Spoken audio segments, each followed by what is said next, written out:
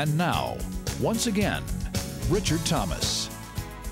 You've probably heard this saying it's not the gift, it's the thought that counts, or big gifts come in small packages. Well, sometimes a gift can be as small as a kind word and a reassuring gesture. In the case of our next story, the gift of love and understanding was also as big as a miracle.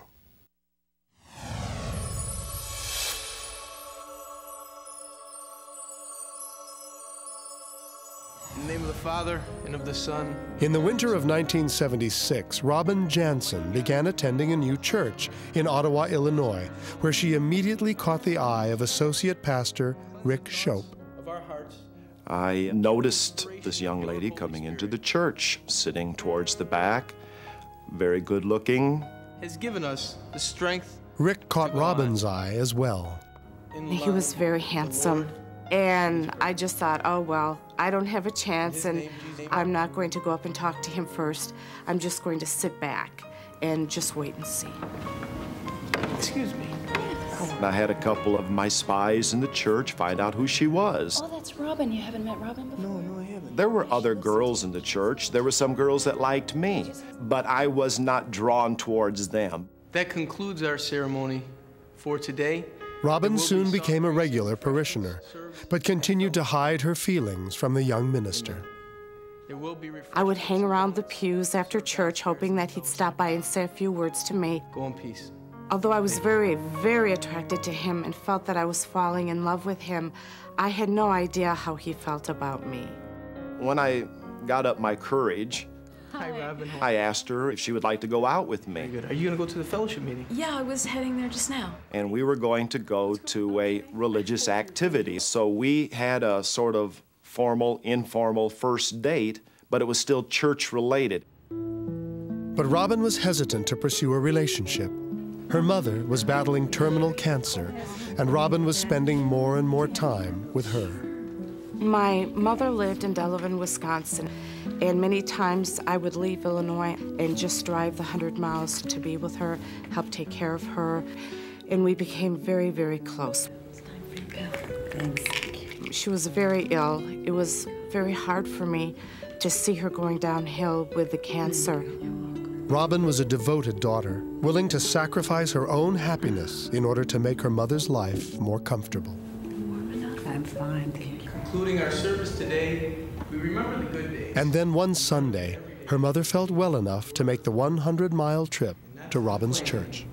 And Rick preached, and Mother seemed to enjoy his sermon very much. And she said, Oh my, he certainly preaches well for someone so young. Hi, Rick. I'd like you to meet my mother. Oh, that was an inspiring sermon. Thank, you, very so much. Thank you very much. I told Rick at the time that my mother was very sick with cancer. Oh, I'm sorry, I'm sorry. You know, I will pray for you. Oh, that, that would mean a lot to me. Yes, ma'am. Thank you. Unfortunately, her mother's condition took a sudden turn for the worse, and she required full time care. Finally, I made up my mind that I was just going to quit my job and move back to Wisconsin to take care of her. With her decision to move, Rick and Robin's budding relationship was coming to an end. Rick was just the type of person that I had always hoped and prayed for. But my mother needed me, and she came first. No matter what I felt for Rick, it just couldn't be. And I went home as quickly as I could. When Robin arrived home, she found that her mother was dying. Gonna let you go, Mom? You've always been there for me. In my first broken heart. And when I didn't get chosen for the school play. And all the stories I would tell you, and you'd always listen. How can I not talk to you every day?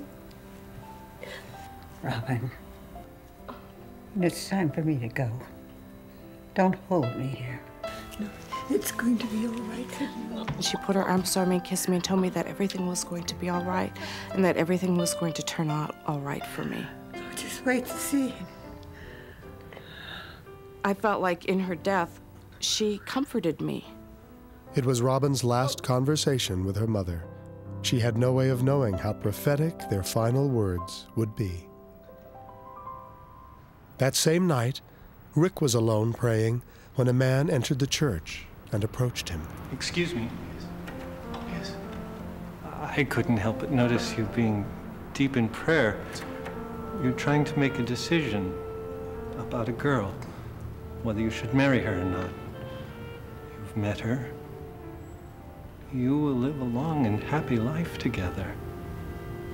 God bless you. It was a situation he could know nothing about. Bless you. I had never met the man before, nor have I seen him since. But I knew that Robin was the answer to my prayer. I was pleased, I was thankful, and in a sense excited too, and then nervous too.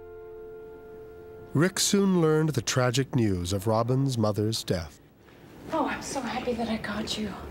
I have some sad news. Robin's mother passed away.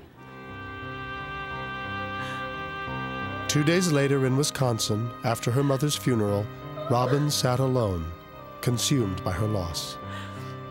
What now for me, God? I didn't know how I was going to manage without my very best friend, without my mom. I felt devastated. And all of a sudden, Rick came and sat down beside me.